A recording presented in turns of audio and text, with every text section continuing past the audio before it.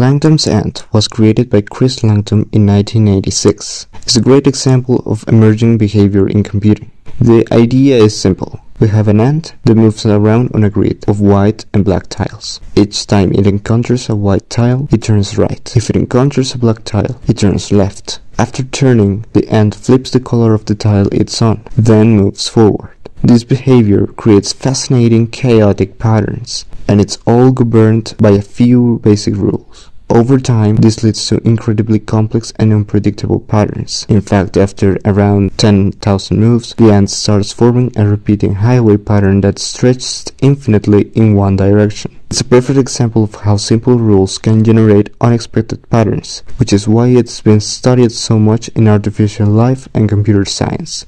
Alright, let's fire up Godot and start building the Langton's ant. We'll create a node 2D as a root node of our scene. We also add a tile map layer node to handle our grid of tiles. Next, let's write a script that will control our ant. It extends a node2d class, which is the base node we added earlier.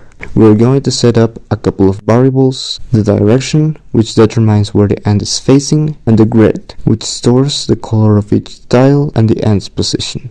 We also define a tile size of 16 pixels, which will make the tiles visible and easier to track. Now, the ready function, we'll initialize the grid and set the ant's starting position.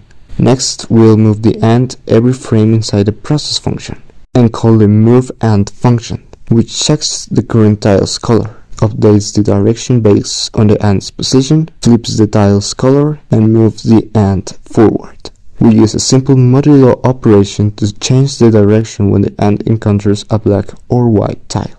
Finally, we have the update tile function that visually updates the tile based on its new color. We create a color rect for each tile and change its color based on whether it's black or white. Once you've added the script, hit play and you'll see the end in action. It starts flipping tiles and moving based on the simple rules we set up.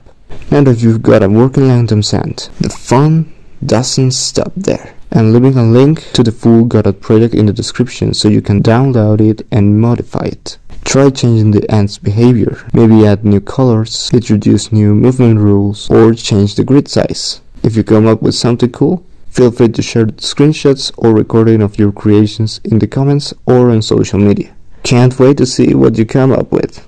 Thanks for watching. If you enjoyed this tutorial, hit that like button, subscribe for more coding projects, and I'll see you in the next video.